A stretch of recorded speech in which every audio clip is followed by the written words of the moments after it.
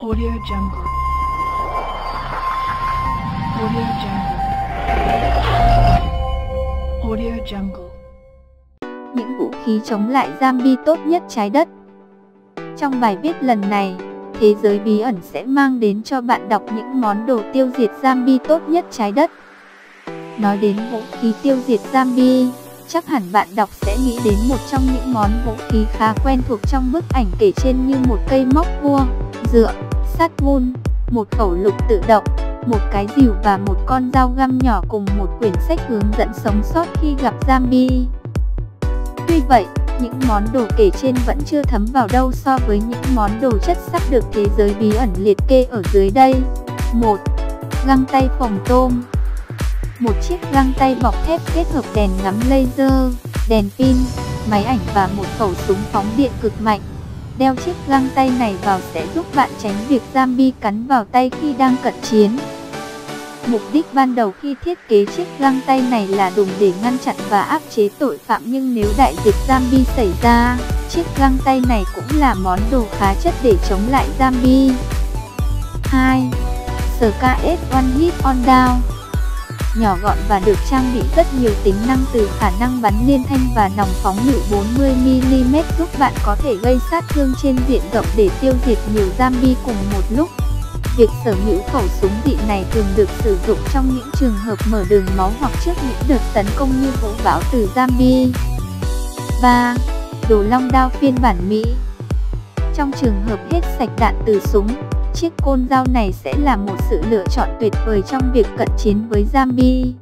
Tất nhiên việc cận chiến với zombie không được nhiều người khuyến khích cho lắm nhưng phòng còn hơn tránh trang bị đầy đủ còn hơn là không có gì. 4 nỏ tiểu liên của Van Helsing.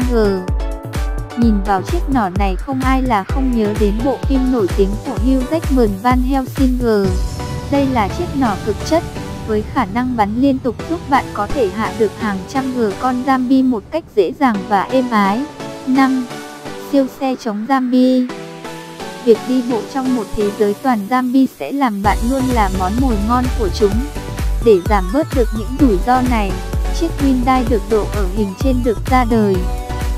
Đây là một chiếc xe được trang bị rất nhiều vũ khí để gây sát thương cực lớn lên đám zombie.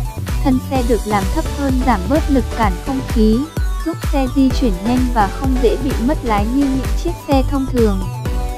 Trên mui xe cũng được trang bị thêm hai khẩu súng tự động và các mặt kính được thiết kế thêm các chấn song rất vững chắc. Đây chính là chiếc xe trong mơ để bạn có thể ngao du trong đại dịch zombie này. 6. Siêu xe đạp chống đại dịch zombie không có công sức đầu tư và trang bị như chiếc Hyundai trên thì bạn có thể tiết kiệm tiền và sắm cho mình chiếc Survivor Bike Black Up Edition của nhà sản xuất Motoped vừa được giới thiệu trong mấy ngày vừa qua. Nói về độ an toàn thì không bằng chiếc Hyundai kể trên nhưng chiếc xe đạp này cũng được trang bị rất nhiều thứ hữu ích trong cuộc chiến với zombie như hai thùng dự trữ nhiên liệu, một cây súng nỏ ở phía sau, một cây rìu, một chiếc xẻng, một bộ dây móc, bộ đồ nghề leo núi, đèn chiếu sáng, dao và một số các dụng cụ sinh tồn khác. Xe còn thiết kế thêm chỗ gắn smartphone hoặc GPS để giúp bạn không bị lạc đường. Toàn bộ khung xe đều được thiết kế rất đơn giản để giảm thiểu tối đa trọng lượng nhằm tiết kiệm được nhiên liệu và sức người. Đây là chiếc xe đạp vô cùng hữu ích để giúp bạn chống chọi và sinh tồn trong một thế giới toàn zombie như thế này. Audio Jungle. Audio Jungle. Audio Jungle.